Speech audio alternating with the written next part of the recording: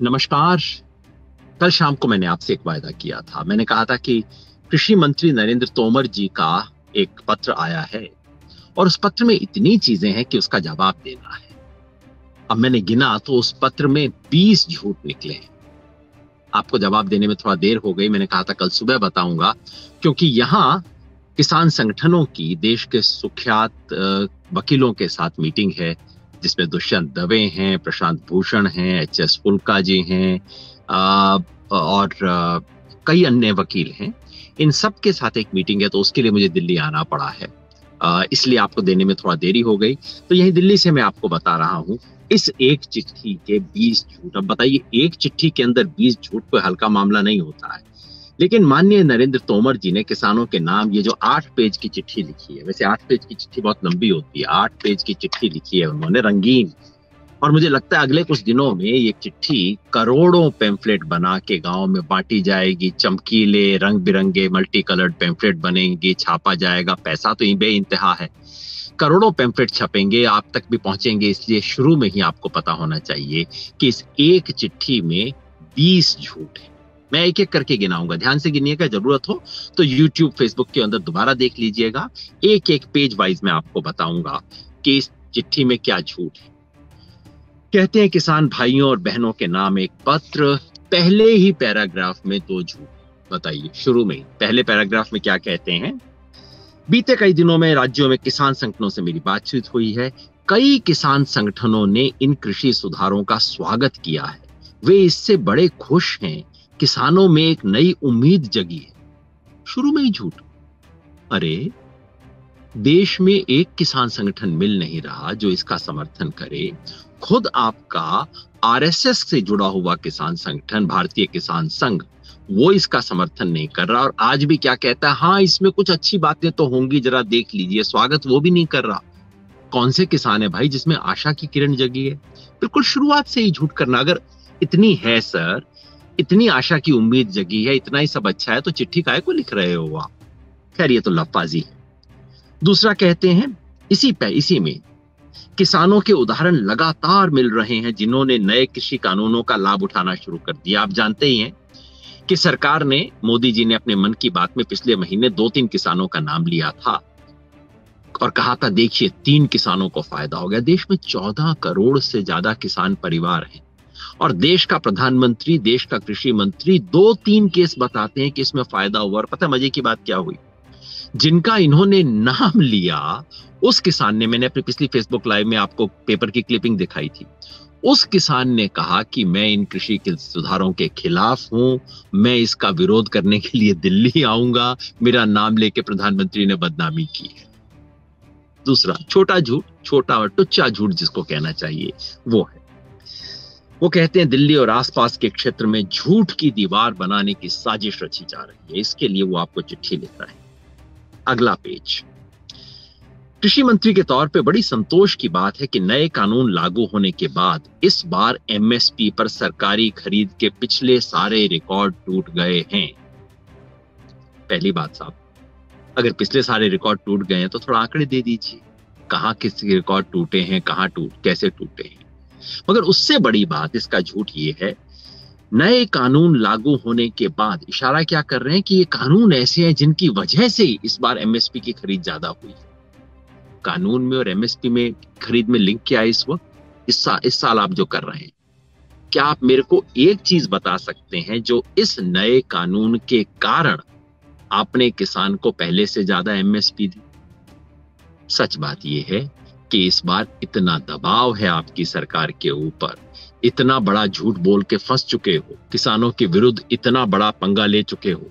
इस साल आप किसी तरह से इसको ढकने की कोशिश कर रहे हो, हरियाणा में कर रहे हो नहीं बाजरा खरीदेंगे, इस साल तो सब कुछ करोगे। इसका कानून से कोई मतलब नहीं है, क्योंकि ये कानून गड़बड़ है, क्योंकि किसान आपके खिलाफ है, इसलिए पर्दा डालने के लिए, इस बार ढकने के लिए आप भाग भाग के एमएसपी पे खरीद कर रहे हो। किसे उल्लू बना रहे हो, सर? चौथा झूठ इसी पेज पे। सरक, जिस सरकार ने किसानों को लागत का डेढ़ गुना एमएसपी दिया है ये झूठ है कितनी बार हम बताएँ? स्वामीनाथन कमीशन ने कहा था संपूर्ण लागत का डेढ़ गुना दीजिए। आपने वैसा नहीं किया। आपने खुद इसकी मांग की थी, आपकी पार्टी ने इसकी मांग की थी, आपके नेता ने इसका वायदा किया था।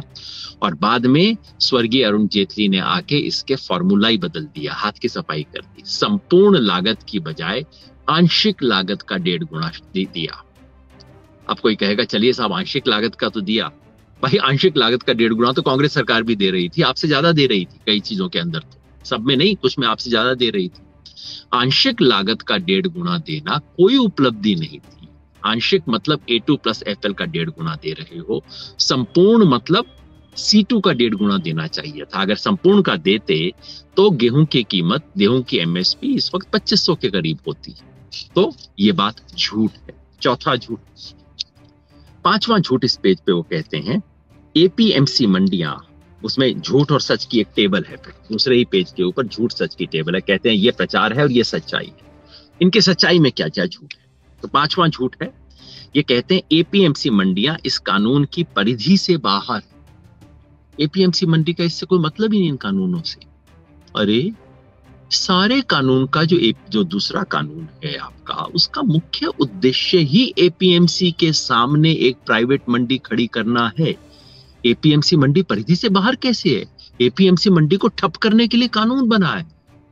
और आप कह रहे हो परिधि से बाहर है। परिधि से बाहर का मतलब कि हाँ एपीएमसी मंडी का ये दायरा है। उसके बाहर हम दुकान करेंगे। सब हम तो बाहर वाली दुकान की बात कर रहे हैं। अंदर वाली दुकान से हमें क्या मतलब?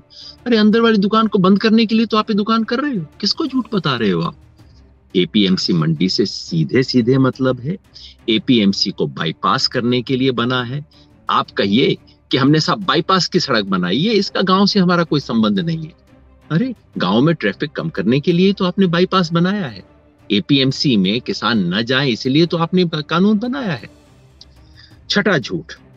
कहते हैं कि कोई लोग कॉन्ट्रैक्ट फ़ार्मिंग के मामले में किसानों के लिए मूल्य की कोई गारंटी नहीं है, ऐसा आरोप लगाया जा रहा है।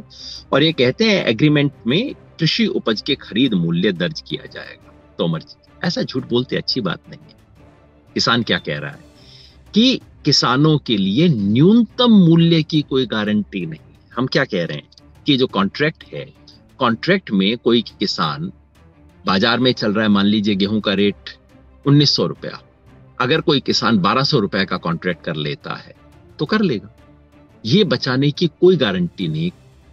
होना क्या चाहिए था? कॉन्ट्रैक्ट में कम से कम इतने से कम पे तो फ़सल नहीं बेची जा सकती। और हम क्या कह रहे हैं? आप न्यूनतम समर्थन मूल्य पे फिक्स कीजिए ना कि न्यूनतम समर्थन मूल्य, जिसे सरकार न्यूनतम कहती है, इस न्यूनतम से नीचे का कोई सौदा नहीं हो सकता। भाई लैंड का भी होता है ना। सर्कल रेट फिक्स हो जाता है कि इस सर्कल रेट से नीचे का कोई सौदा नहीं हो जाएगा। वो आपने कहा फिक्स किया सरकार का जवाब ये देते हैं कि मूल्य को दर्ज किया जाएगा। मूल्य को लिखा जाएगा। सर, मूल्य लिखा जाएगा। नहीं नहीं, पूछ रहे हम पूछ रहे हैं। क्या कोई कम से कम मूल्य होगा? हमारी बात पे झूठ बोल रहे हैं आप। सातवां झूठ। कहते हैं कि आरोप है कि इन कानूनों को लेकर सलाह मशवरा चर्चा नहीं की गई है। फिर ये कहते हैं, दो दशकों तक विचार विमर्श हुआ है। क्या विचार विमर्श? खुद बता रहे हैं।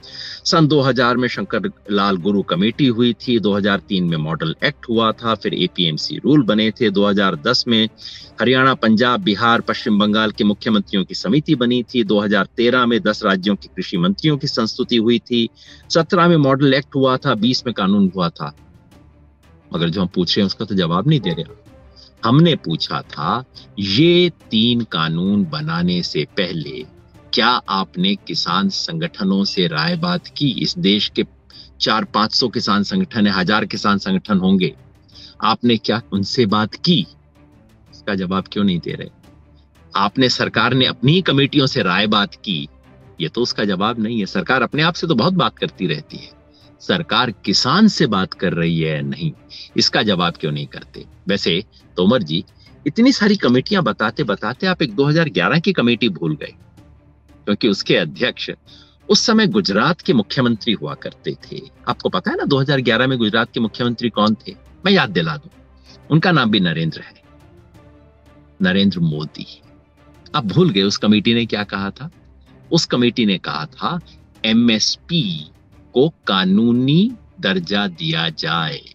इतनी सारी कमेटियाँ गिना दी आप, नरेंद्र मोदी जी की कमेटी भूल गए, दिक्कत हो जाएगी नरेंद्र तोमर जी, ऐसे मत किया करो। सवाल कमेटियों का नहीं है, सातवां झूठ ये है कि आपने किसानों से, किसान के संगठनों से क्या इन तीन कानूनों को बनाते वक्त, उससे पहले, उसके दौरान ऑर्डिनेंस जारी करने के बाद, कानून बनने से पहले, लोकसभा में कानून जब पेश हो रहा था, उस वक्त आपने राय की या नहीं की? ये सवाल है। सीधा जवाब दिया कीजिए ना। आठवां झूठ कहते हैं, हमारी सरकार एमएसपी कभी बंद नहीं करेगी। एमएसपी जारी है और जारी रहेगी। कितना सफ़ाई से कह रहे हैं।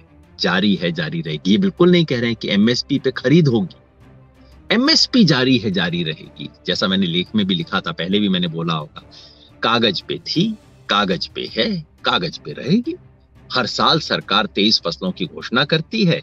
एमएसपी उस पर घोषित कर देती है, खरीदती है दो या ढाई। तो पहले भी दो या ढाई खरीदते थे, आज भी दो या ढाई खरीदेंगे, कल भी दो या ढाई खरीदेंगे। और ये तो कहीं नहीं कहा है कि जितना आज खरीदते हैं, उतना ही खरीदेंगे।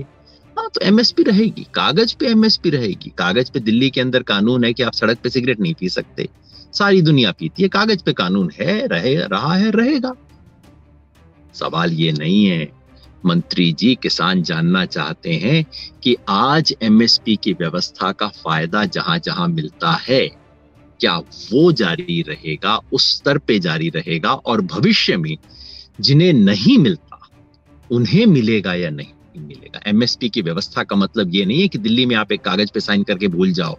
एमएसपी हो गई, ये डिक्लेयर हो गई। एमएसपी व्यवस्था का मतलब है कि आप एमएसपी को एमएसपी पर खरीद करो, ये सुनिश्चित करो कि किसान एमएसपी से नीचे नहीं बेचेगा। ये व्यवस्था ना पहले थी, आपकी सरकार आने से पहले भी नहीं थी, आपकी सरकार के छह साल में भी नहीं रही है और स्पष्ट है, आगे भी नहीं रहेगी। ये था आठवां झूठ, नौवां झूठ। हल्के हाथ से उन्होंने कह दिया कि नरेंद्र मोदी जी की सरकार किसान कल्याण उनके जीवन के सबसे अहम प्रतिबद्धताओं में से एक है, किसानों की आय बढ़ाने, किसानों की आय बढ़ाने। मेरी आँख वहाँ पे रुक गई। याद है ना आपको एक बहुत बड़ा झूठ? किसानों की आय दोगुनी करने वाले थे ये लोग। दोगुनी करना मेरे ख्याल में लिखना भूल गए। कहीं कहीं शर्म आ गई हो किसानों की आय बढ़ाने, तोमर जी, बता दीजिए ना पिछले छह साल में कितनी बढ़ी है? सन 2016 में प्रधानमंत्री जी ने 28 फरवरी 2016 को प्रधानमंत्री जी ने घोषणा की थी कि छह साल में हम किसानों की आय दो गुना कर देंगे। अब उसको साढ़े पाँच साढ़े चार साल हो गए। आप कहते हैं किसानों की आय बढ़ी है। जरा आंकड़ा दे दीजिए ना। पता तो लग जाए कि आपने जो छह साल में दो गुना करनी थी, यानी कि सौ परसेंट बढ़ानी थी, अब तक आपने पिछहत्तर परसेंट बढ़ा दी। साठ परसेंट बढ़ा दी, पचास परसेंट बढ़ा दी। अरे, तीस परसेंट बढ़ा दी आपने, हिम्मत हो तो आंकड़ा दीजिए ना। काय को झूठ सरकार रहे हैं? दसवां झूठ। फ़सल बीमा का कवच। कह रहे हैं, आपको इतने शानदार हमने काम किए हैं। फ़सल बीमा का कवच आपको प्राकृतिक आपदा से बर्बाद हुई फ़सल की भरपाई करता है। आपको पता नहीं था? देश के सारे किसानों को फ़ायदा मिल गया है। तोमर जी, सच ये है कि फ़सल बीमा योजना फ्लॉप हो चुकी है। खुद गुजरात ने, और किसी की बात नहीं कर रहा मुतोमर जी, विपक्षी दलों की सरकारों की बात नहीं कर रहा। प्रधानमंत्री माननीय नरेंद्र मोदी जी के अपने गृह राज्य गुजरात, जहाँ बीजेपी की सरकार है, उसने इस साल से प्रधानमंत्री फ़सल बीमा योजना को बंद कर दिया है। कह दिया है कि गुजरात में हम लागू नहीं करेंगे, योजना फेल हो गई है। और प्रमाण देने की ज़रूरत है। उसके बाद आप कहते हो कि फ़सल बीमा का कवच सबको कवर कर रहा है। शर्म नहीं आती आपको इस तरह की बातें करते हुए? जब फ़सल बीमा योजना लागू हुई थी, उस दिन सरकार ने घोषणा की थी। बजट, मंत्री ने बोला था कि अब तक केवल 22-23 प्रतिशत किसानों को मिला है। इस साल 30 प्रतिशत हो जाएगा, अगले साल 50 प्रतिशत हो जाएगा और उसे स्लोली हम पूरे किसानों को पूरा कर देंगे। तोमर जी अगर हिम्मत है तो मुझे आंकड़ा बताइए कि आज देश के कितने किसान कवर हो रहे हैं। क्या तीस प्रतिशत किसान भी कवर हो रहे हैं इस देश के? चार साल लागू हो, होते हुए हो गया। इस योजना से बड़ी बड़ी कंपनियों को फ़ायदा हुआ प्राइवेट इंश्योरेंस कंपनियों को फ़ायदा हुआ। किसानों को क्या मिला? ग्यारहवां झूठ। कितनी बार ये झूठ बोला जा चुका है? अब एक किसानों को ये दिक्कत थी कोल्ड स्टोरेज नहीं थे, गोदाम नहीं थे प्रोसेसिंग सेंटर नहीं थे, अब एक लाख करोड़ रुपए का कृषि इंफ्रास्ट्रक्चर फंड बनाया गया। सुन के कितना अच्छा लगता है, एक लाख करोड़ रुपए, काफ़ी पैसा होता है। तो ऐसा लगता है कि अभी फंड हो गया, अब किसानों के लिए सुविधाएँ बन रही हैं। कहाँ है जी वो फंड आज तक इस एक लाख करोड़ में से कितना पैसा किसानों की सुविधाओं के लिए इस्तेमाल हुआ है? और उसमें से भारत सरकार ने कितना लगाया है? सरकार का पैसा नहीं है। इधर उधर के पैसे को इकट्ठा करके बोल रहे हैं इंफ्रास्ट्रक्चर फंड हो गया। और इसमें से कितना खर्च हुआ है? अगर आप ईमानदार होते तोमर जी तो आप कहते, एक लाख करोड़ रुपए का फंड बनाने का लक्ष्य था हमारा। अब तक हमने इसमें से पाँच हज़ार, सात हज़ार, आठ हज़ार, दस हज़ार किया है। बार बार एक लाख करोड़ को क्यों दोहराते हो? आदत हो गई है इस सरकार की। झूठ है, बस फेंकते जाओ फेंकते जाओ। कभी ना कभी लोगों को यकीन हो ही जाएगा कि चल रहा है। बारहवां झूठ। बारवा झूठ वो कहते हैं। पलट के देखिए, हमसे ही कहते हैं। हम इनसे पूछ रहे थे कि आप एक किसान संगठन का बता दीजिए जिसने इसकी मांग की हो, इन कानूनों की। अब वो पलट के हमको कह रहे हैं। बीते 20-25 वर्षों में किसी किसान नेता या संगठन का एक भी वक्तव्य दिखा दें, जिसने कहा हो कि किसानों को अपनी उपज बेचने के लिए अन्य विकल्प नहीं मिलने चाहिए। जो व्यवस्था चली आ रही है, वही बेहतर है। मतलब पलट के कह रहे हैं कि आप बताओ कि किसी नेता ने कहा हो कि यह व्यवस्था बेहतर है। मंत्री जी, मैं हाथ जोड़ के बता रहा हूँ, किसी ने नहीं कहा। मैं तो बार बार कहता हूँ, ये मंडी तो हमारे सर पे छप्पर है। टूटा हुआ है, लीक करता है, हम परेशान हैं। लेकिन आप तो छप्पर हटा रहे हो। आप मुझे ये बताओ कि किसी नेता ने कहा हो कि मेरा छप्पर लीक कर रहा है, आप मेरा छप्पर ही हटा दो। ये काम आप कर रहे हो। मुझे भी पलट के इन्होंने आदित्यनाथ, योगी आदित्यनाथ ने और इनके लॉ मिनिस्टर रविशंकर प्रसाद जी ने कहा, योगेंद्र यादव ने कहा था कि एपीएमसी में रिफॉर्म होना चाहिए. अरे भाई, क्या आरोप है? मैं तो बार बार कह रहा हूँ, इस मंडी व्यवस्था में सुधार होना चाहिए। सारे किसान कह रहे हैं, सारे किसान संगठन कह रहे हैं। पर आप सुधार कर रहे हो या बिगाड़ कर रहे हो? आप मुझसे पूछ रहे हो, ये लोग मानते हैं कि मरीज़ बीमार है? हाँ भाई, मरीज़ बीमार है। मगर आप ये जहर का इंजेक्शन क्यों लगा रहे हो? जहर के इंजेक्शन के लिए हमने कभी हाँ नहीं की है। बेकार की बातों पे क्यों बहस करते हो जी? मरीज़ बीमार है एपीएमसी व्यवस्था में सुधार होना चाहिए, किसी ने ना नहीं की है। सवाल ये है कि आप जो इंजेक्शन लेके आए हो, इसकी मांग किसी ने की थी या नहीं की थी? ये जहर का इंजेक्शन है, दवा नहीं है। असली समस्या ये है। इधर उधर की बातें क्यों कर रहे हैं? तेरवा झूठ। अब वो कह रहे हैं कि पिछले छह महीने में हम करोड़ों किसानों तक इस बात को लेके गए। डेढ़ लाख ट्रेनिंग और वेबिनार सेशन के ज़रिए किसानों से जुड़े विभिन्न मामलों और नए कृषि कानूनों के प्रावधानों पर चर्चा की। डेढ़ लाख वेबिनार। वेबिनार मतलब इंटरनेट के ऊपर वेब में बैठ के जूम कॉल में जाके लोग बात करते हैं। डेढ़ लाख वेबिनार हुए थे जी, आपने देखा? जो किसान मेरी बात को सुन रहे हो। आप जरा नोट कीजिएगा और अगर आप खुद उस वेबिनार में शामिल हुए हो, ऐसा करना इस फेसबुक के ऊपर आप दनाक से लिख देना हाँ जी वेबिनार हुआ था, मुझे आमंत्रित किया गया था फला तारीख को, ये मुझे आया था नोटिस आप बता देना। कहा ही वेबिनार होते हैं? अपने लोगों को बैठा के कुछ बात कर लेते हैं। अरे भाई, आपका अपना संगठन नहीं कहता कि हमें इसमें शामिल किया गया। भारतीय किसान संघ कहता है, हमसे राय नहीं हुई। भारतीय किसान संघ से आपने राय नहीं की। किसी और किसान संगठन का तो सवाल ही नहीं होता।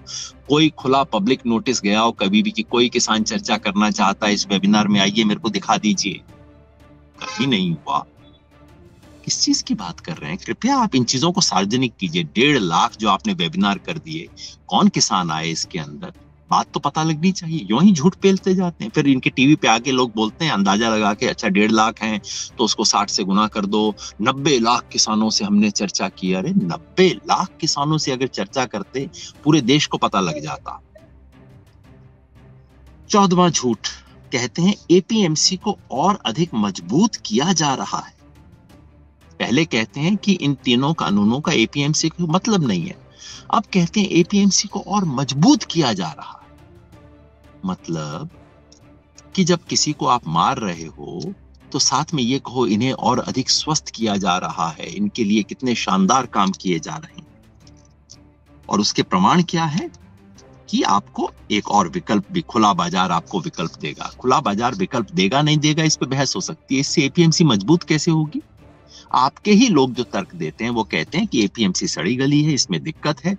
इसलिए हम सामने व्यवस्था खड़ी करेंगे जो कि लोग एपीएमसी से बाहर जाएँगे और उन्हें बेहतर दाम मिलेगा। वो बात सच है, नहीं, इस पर बहस हो सकती है।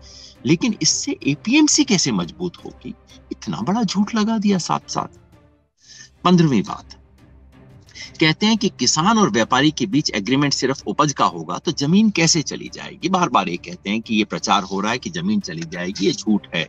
ज़मीन की कुर्की का कोई प्रावधान नहीं? बिल्कुल ठीक है, हमने कभी नहीं कहा कि ज़मीन की कुर्की का प्रावधान कॉन्ट्रैक्ट खेती के अंदर लिखा हुआ है कि कॉन्ट्रैक्ट ज़मीन का नहीं होगा कॉन्ट्रैक्ट फ़सल का होगा। डर किस बात का है? डर इस बात का है कि उसमें साफ़ साफ़ प्रावधान है कि अगर किसी कंपनी ने आपकी ज़मीन पर इन्वेस्टमेंट निवेश किया है तो वो कॉन्ट्रैक्ट खत्म होने पर अपने पूरे निवेश का पैसा वापस कर सकेगी।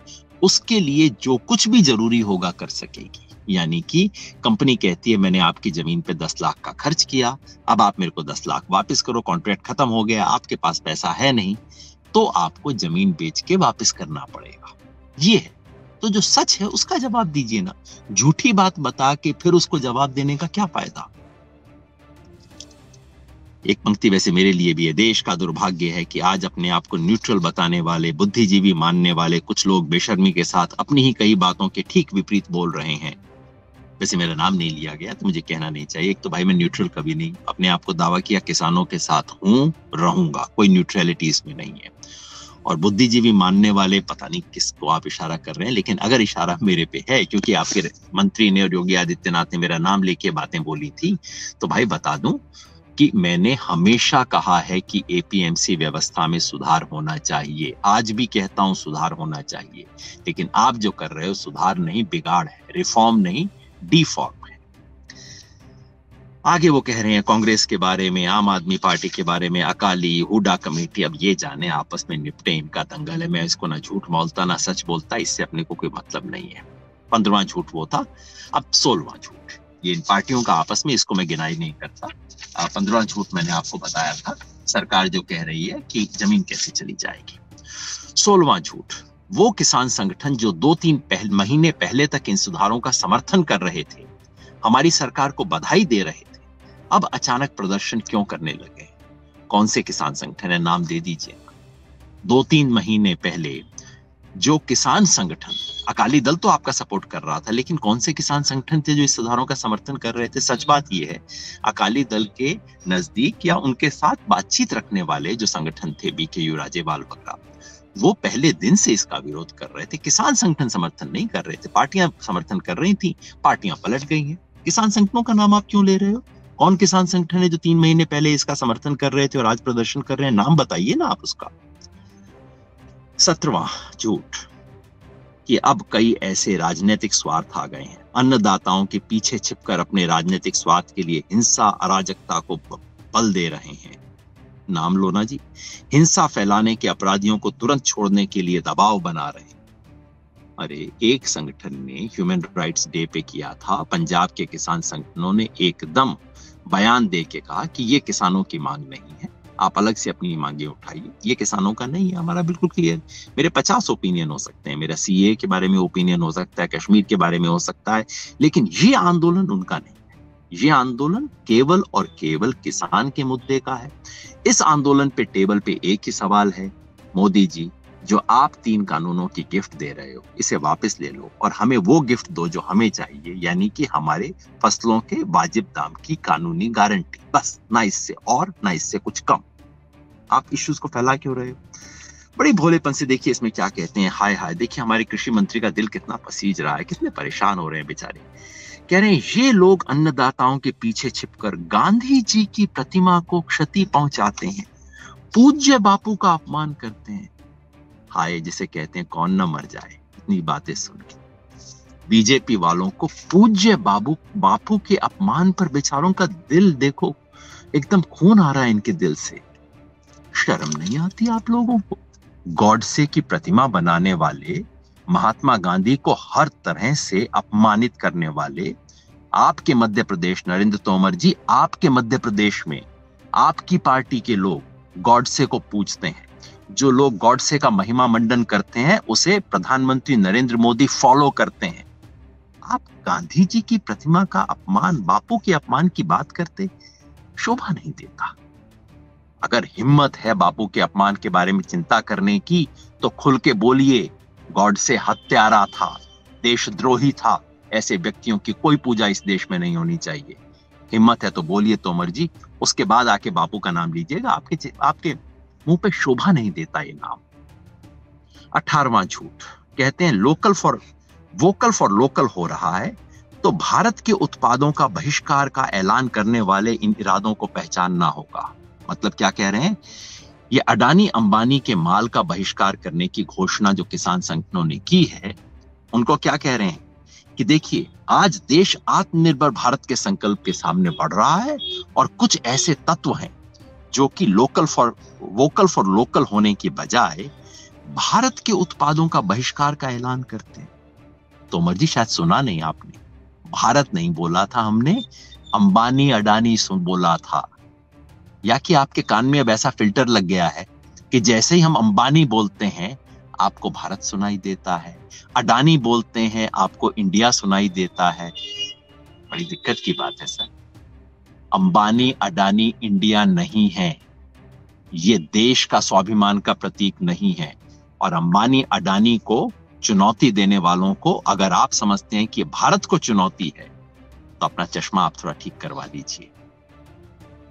ये बहुत शर्म की बात है कि देश के मंत्री इन दो कंपनियों को भारत की आत्मनिर्भरता और भारत के प्रतीक के रूप में समझते हैं। उन्नीसवां झूठ। जवानों के लिए रसद ले जाने वाली ट्रेन रोकने वाले ये लोग किसान हो ही नहीं सकते। तो ये पंजाब के जो हज़ारों लाखों किसान रेलवे ट्रैक पे बैठे थे, ये तो किसान हो ही नहीं सकते। क्योंकि ये लेह लद्दाख में जाने वाले सामान की रसद ले जा रही ट्रेनों को रोक रहे हैं। डबल झूठ है सर। किसान तो हैं, चेक कर लो। और दूसरा, मालगाड़ी को रोकने का कोई ऐलान नहीं था। बार बार कहा था, हम मालगाड़ी छोड़ना चाहते हैं। आपने जिद की है कि अगर पैसेंजर ट्रेन नहीं चलेगी तो हम मालगाड़ी नहीं चलाएँगे। पीयूष गोयल जी से जवाब पूछिए, सर, किसानों से क्यों पूछ रहे हैं? आज भी मालगाड़ी को चलाने के लिए तैयार है। और अगर आपकी सरकार एक बार अपील करे कि सब बाइकआउट को छोड़ के किसानों, जवानों के लिए किया जाए, किसान संगठन सब कुछ छोड़ के फौज के लिए, सेना के लिए, जवानों के लिए कुछ भी करने को तैयार होंगे। पीयूष गोयल जी, याद रखिए, वो जिस जवान का नाम ले रहे हैं ना किसान का बेटा है। किसान को सबसे पहले उसकी चिंता है। उन्नीस झूठ हो गए, बीसवां और आखिरी झूठ। ये सुधार भारतीय कृषि में नए अध्याय की नींव बनेंगे। देश के किसानों को और स्वतंत्र करेंगे, सशक्त करेंगे। नया अध्याय तो बनेगा, ये तो बात मैं मानता हूँ। ये अध्याय काला अध्याय होगा या सुनहरी अध्याय होगा? हाँ इसके बारे में दो राय ज़रूर हो सकती है। किसान को स्वतंत्र करेंगे आपके सर के ऊपर से छप्पर उठ जाए तो कितने स्वतंत्र हो जाओगे। देखो, नीला आकाश दिखाई देगा, रात को चाँद तारे दिखाई देंगे, ये स्वतंत्रता चाहिए। हाथ जोड़ के किसान कह रहा है मोदी जी, तोमर जी, हमें स्वतंत्रता नहीं चाहिए, हमें स्वतंत्रता वो चाहिए, जिसमें मुझे पता हो फ़सल लगाते समय कि मेरे को कम से कम इतना दाम तो मिलेगा अपनी मेहनत का, अगर मैं मेहनत करूँगा। वो देने की बजाय, ये स्वतंत्रता नहीं, ये जो आप दे रहे हैं, परतंत्रता है। ये जो आप दे रहे हैं कंपनी राज है, ये तीन कानून किसानों के लिए नहीं बने, आप भी जानते हैं। ये कानून उस बड़े बड़े एग्री बिज़नेस के लिए बने हैं, जिसको आप भारत का प्रतीक बताते हैं, जिसको सवाल उठाते ही आप कहते हैं, भारत के ऊपर हमला हो रहा है। उन लोगों के लिए बना है। ये सौगात नहीं है, सजा है। ये किसान के लिए सौगात नहीं है, अडानी अंबानी के लिए सौगात है। आप भी जानते हैं, हम भी जानते हैं। सारा देश जानता है, जिस देश का कृषि मंत्री एक चिट्ठी में 20 झूठ बोले, उस देश का क्या होगा? मुझे चिंता होती है। जब कृषि मंत्री किसानों को इतना झूठ बोले, उसे किसानों की कितनी चिंता होगी? मुझे डर लगता है। मगर तोमर जी, ये झूठ बहुत चलने वाला नहीं है, जो कहते हैं ना, सौ सुनार की एक लोहार की। सुनार की सौ हो गई, अब एक लोहार की। आज दिल्ली की चारों तरफ़ किसान खड़े हैं। चारों तरफ़ खड़े होकर किसान आवाज़ गुंजा रहे हैं। एक बात कह रहे हैं, इन झूठों का, इन चिट्ठियों का, इन तमाम पुलिंदों का कोई असर नहीं होगा तोमर जी, आज सच गूंज रहा है, ऊँचे स्वर में गूंज रहा है, उसे सुनना पड़ेगा। आज भी सुन लीजिए। आप बातचीत में सौम्य हैं। इस तरह की चिट्ठियाँ लिखना आपको शोभा नहीं देता। मैं जानता हूँ आप पे ऊपर से दबाव होगा आपको चिट्ठी लिखवाई जा रही होगी। लेकिन कुछ तो अपना भी रखिए इस चिट्ठियों के अंदर। ये सच नहीं आप भी जानते हैं। और तोमर जी, आपकी कुर्सी के पीछे कुछ लिखा रहता है। आपको याद है क्या है? सत्य में वजह थे। सच की जीत होगी। और जीत होगी तोमर जी। आप भी देखेंगे। हम भी देखेंगे। बहुत बहुत धन्यवाद। सत्य में वजह थे।